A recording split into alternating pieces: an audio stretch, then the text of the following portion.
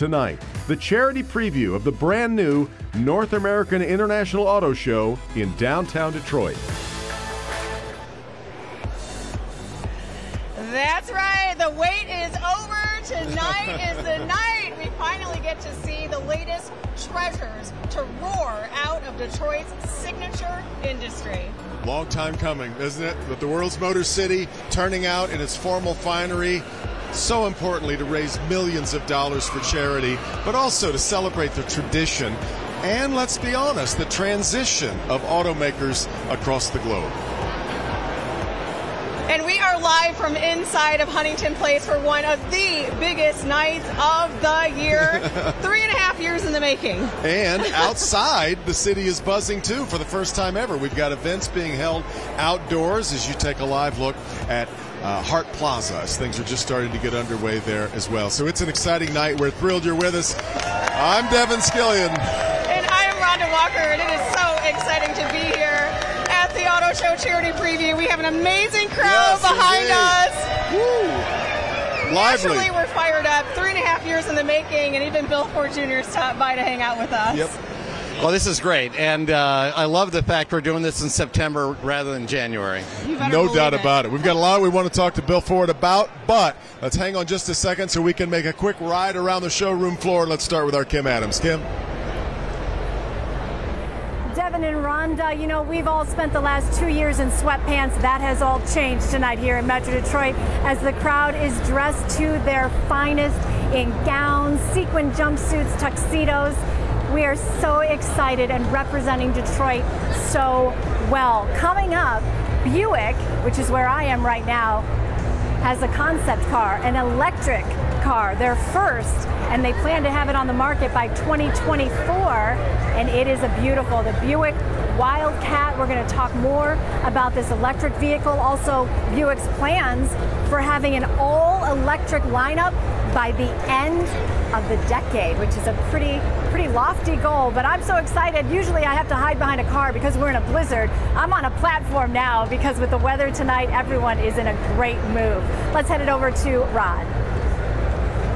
Tim, thanks so much. We're over here in the Chevy booth, and there's a lot happening here. Got the Corvette, the electric Silverado, the electric Equinox. People were checking all of that out, and that's part of the great experience. And, you know, as much as the show has changed, we're also looking at the tradition, and this is the tradition, the Be Seen event of the year in Detroit. And there are a lot of smiling faces, happy people. Saw a couple of dinosaurs going around the crowd as well. So uh, when the kids get a chance to come see the show, that's what they'll get to see as well. We're going to be showing you more of what you can see and also hearing from the folks here at General Motors coming up. Victor Williams, good evening. Hey, thanks. Good evening, Rod. Looking good tonight. A lot of anticipation building right here in the building for tonight's event. We are at the Stellantis booth where you can see all these awesome cars. The Pacifica right over there, the Grand Cherokee, and then my personal favorite, of course, the Jeep 4xE. This is an electric vehicle.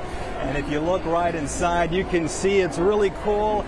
A new modern take on an old tradition. And we'll be taking a look at even more of these cars, a lot of them electric, might I add. But in the meantime, we'll go ahead and we'll toss it over to Devin and Ron. All right, Victor. And uh, Bill Ford Jr., the chairman of Ford Motor Company, with us now. And you said it earlier, Bill, it's nice to be back, but it's really nice to be back without a coat check, without slugging through a snowstorm. This is different, but it's really great to feel it again. I mean, it's great for a couple reasons. One is all the visitors get to see, you know, Detroit and Michigan arguably in our best month rather than, you know, January, which is clearly not our best month. And so, and the other thing is we can do things outdoors now. Yeah. Um, you know, we had our big Mustang reveal a couple nights ago at Hart Plaza. Went over like gangbusters. It was, it, it was so much fun, and it was a beautiful night, and we never could have done that in the old days. Yeah. Well, something that we're not used to hearing is the sound of screeching tigers. We have this experience in the Ford exhibit where you can actually get in and ride. Talk about why that was so important. Well, it really shows what these these vehicles can do. So you've got the Bronco going up this you know incredible incline. Um, and it's it's a, it takes your breath away for a minute, but it's really fun. And then uh, we have the F-150 Lightning just blasting around here, showing people how quick it is. So you're right, it's something new for us, but I think people really are having fun with it. Yeah, let's, they are. Yeah, let's uh, let's. Uh, I want to talk to you about the Mustang before we get into electrification. I remember you years ago talking about if you could have, and you can have just about any car you want. It would always say be a. Mustang. You're, uh, uh, you, uh, give me your reaction to the new one. I love the new one, um, and you know it. It's uh, it sounds great. It looks great. Uh, I haven't driven the Dark Horse yet, but I have my order in already. Um, Do you know a guy? I do know somebody. and, uh, so yeah, it's going to be awesome. And, and you know, but I, I'm also driving like you are uh, a Mach E, and that's a very different animal, but it's so much fun. It really is. Of course, there's this push for EVs, and more and more investment is going into making sure that the infrastructure is there. We had a recent announcement about that. But on your end, talk us through how this is going to look maybe the next five or ten years in terms of availability and what you're anticipating in terms of the number of people driving them. Well, we're going all in on it, and we're going to have um, you know two million EVs on the road in you know very few few years. But ultimately, the customer is going to decide, right? So uh, we'll have internal combustion engines, we'll have EVs, and we'll see what the customers love. Even so far, with the the F-150 Lightning and the Mach E. I wish we could make more of them, like a lot more of them. Oh, yeah. yeah. Well, in is there fact, a waiting list still? Yes, there is. There is. But a lot of people are, are criticizing both the automakers and the government for pushing this too fast. That people aren't ready, the infrastructure's not ready, and people's lives mentally aren't quite there yet.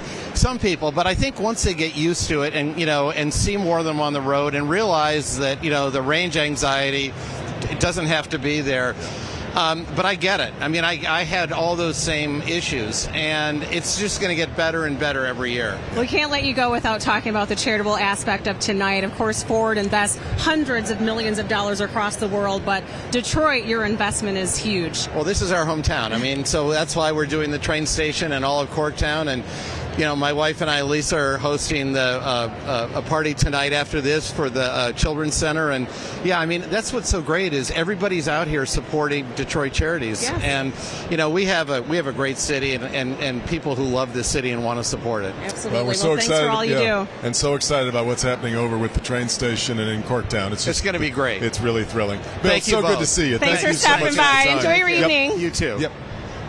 Well, we do want to keep it moving around the auto show floor and check in with Kim Adams, who is pulling back the curtain on the new vehicles behind what was unveiled at the auto show, which we already talked about the Mustang and more. Yes, Buick is now entering the world of electric vehicles. Look at this. It's called the Wildcat. It is a concept vehicle, but they do hope to have it in production by 2024, 2025 at the latest. I mean, this is an awesome car. They have redesigned their logo. They also have on the top of the vehicle Buick written across the top of the windshield. It is I mean, I don't know what else to say. It speaks for itself. But it is a pretty incredible goal that Buick wants to have all electric vehicles in their lineup by the end of the decade. So within the next seven years, they hope to have not just the Wildcat in production, they also hope to have their vehicles be electric. Let's look at some of the other reveals we've had here at the auto show.